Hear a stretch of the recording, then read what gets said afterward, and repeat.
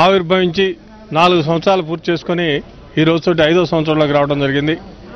ఈ ఐదు సంవత్సరాల నుంచి కూడా ప్రజా సమస్యల మీద ప్రజల యొక్క సమస్యల మీద నిత్యం పోరాటం చేస్తూ మా నాయకుడు జగన్మోహన్ రెడ్డి గారు నిత్యం ప్రజల మధ్యలోనే ఉండటం జరిగింది.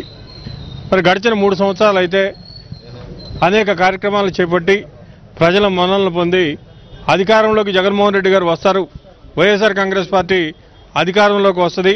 వైఎస్ఆర్ కాంగ్రెస్ పార్టీ వస్తే జగన్మోహన్ రెడ్డి గారు రాజశేఖర రెడ్డి గారు చేపట్టే ప్రతి పథకం కూడా అమలు చేస్తారని చెప్పి రైతులు బడుగు బలహీన వర్గాలు అందరూ కూడా ఎంతో ఆసక్తితోటి ఎదురు చూడటం జరిగింది. చంద్రబాబు నాయుడు గారు మోసపు మాటలు చెప్పి ప్రజల్ని మోసం చేసి అబద్ధపు హామీలు ఇచ్చి అధికారంలోకి వచ్చిన తర్వాత ఏ ఒక్క హామీని కూడా అమలు చేయకుండా ఈరోజు ప్రజలందరినీ కూడా ఇబ్బంది పెట్టడం జరుగుతుంది. మరి ఎక్కడా కూడా మొక్కవని దీక్షతోటి ఈరోజు అసెంబ్లీలో కానివ్వండి మరి ప్రజల మధ్యలో కానివ్వండి నిత్యం ప్రజల కోసం పోరాటం చేస్తున్నటువంటి party YSR Congress party. YSR Congress party రానున్న రోజుల్లో కూడా ప్రజా వ్యతిరేక చర్యల్ని నిత్యం ఎదుర్కొంటూ ప్రజల మధ్యనే ఉంటూ ప్రజల కోసం పోరాటం చేస్తామని చెప్పి మీ అందరికీ కూడా తెలియజేస్తూ రాబోయేటువంటి రోజుల్లో తప్పనిసరిగా వైఎస్ఆర్ కాంగ్రెస్ పార్టీ అధికారంలోకి వస్తుంది. జగన్మోహన్ రెడ్డి గారు ఈ రాష్ట్రానికి ముఖ్యమంత్రి అవుతారు. ప్రజలు ఎప్పుడు కూడా అబద్ధపు హామీలు ఇచ్చినటువంటి వాళ్ళని ఎక్కువ కాలం భరించేటువంటి పరిస్థితిలో ఉండరు. తప్పనిసరిగా చంద్రబాబు నాయుడు గారికి ప్రజల యొక్క బలమేమిటో ప్రజల యొక్క శక్తి ఏమిటో తప్పనిసరిగా రుచి చూపిస్తారు. అబద్ధ హామీలు ఇచ్చి మోసపు మాటలు చెప్పి అధికారంలోకి ఎట్లా వస్తే ఎట్లా ఉంటుందని చెప్పి కూడా ఆయన త్వరలోనే తెలుసుకుంటారని చెప్పి కూడా తెలియజేస్తూ మరి వైఎస్ఆర్ కాంగ్రెస్ పార్టీ ముందు ముందుగా ఇంకా మరిన్ని మంచి ప్రజా సంక్షేమ కార్యక్రమాలు చేపడుతుంది. ప్రజా వ్యతిరేక నిర్ణయాలు ప్రభుత్వం తీసుకుంటే దాన్ని ఎదురిస్తుంది. ప్రజల కోసం ప్రజల మధ్యలోనే ఉంటుంది. మరి జగన్మోహన్ రెడ్డి గారి నాయకత్వంలో మేమందరం కూడా ఆయనకు అండగా ఉంటూ ప్రజల కోసం పనిచేస్తామని చెప్పి తెలియజేస్తూ ఇప్పటివరకు కూడా కార్యకర్తలు ఈ పార్టీకి చాలా అండగా ఉన్నారు.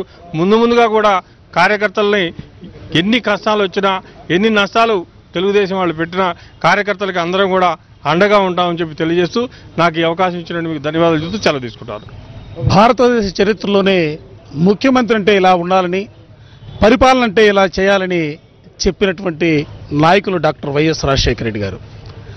దివంగత ముఖ్యమంత్రి డాక్టర్ రాజశేఖర రెడ్డి గారు చనిపోయిన తర్వాత ఈ రాష్ట్రంలో జరిగినటువంటి అనూహ్య పరిణామాలలో డాక్టర్ రాజశేఖర రెడ్డి గారి ఆశయాలను సజీవంగా బతికించాలని పేద ప్రజలకు అండగా నిలవాలని ఆలోచనతో ఆ రోజున యువ నాయకులు జగన్మోహన్ రెడ్డి గారు ఆ దివంగత మహానేత డాక్టర్ రాజశేఖర రెడ్డి గారి పేరు మీదుగా వైఎస్ఆర్ కాంగ్రెస్ పార్టీని ఈ రాష్ట్రంలో ప్రారంభించినటువంటి పరిస్థితులు.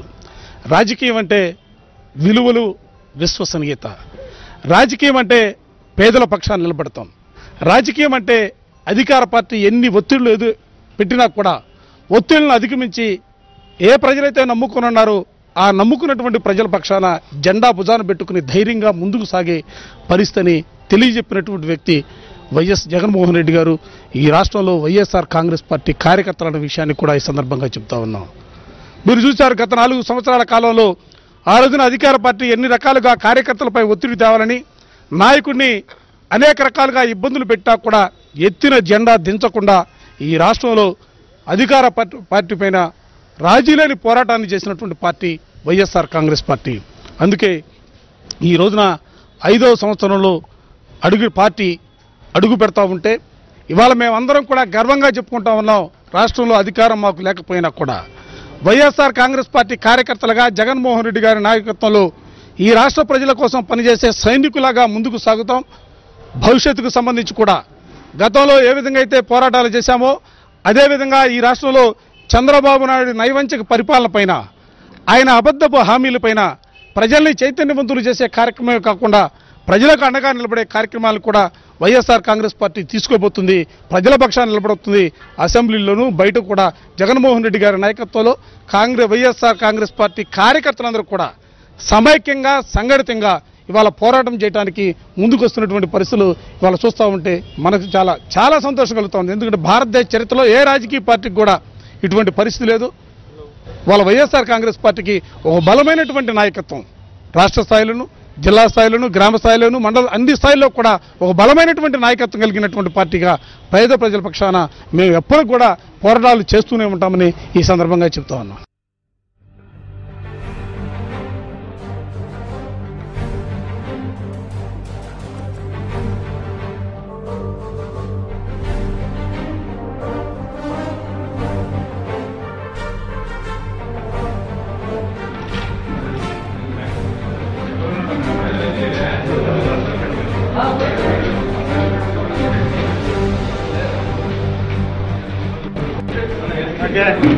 나 나장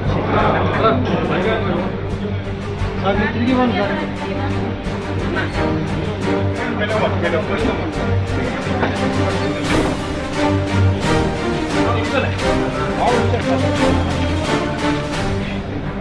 오케이. 오케이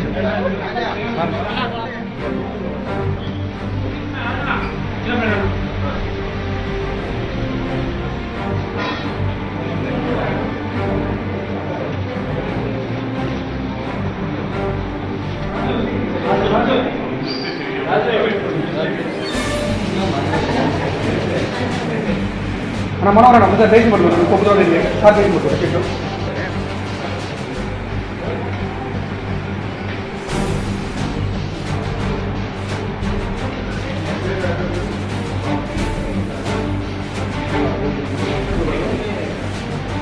ಪಾರ್ಟಿ ಆಗಬೇಕು ಅಂತ ವಯಸ್ಸಾಗ್ತದೆ ಪಾರ್ಟಿ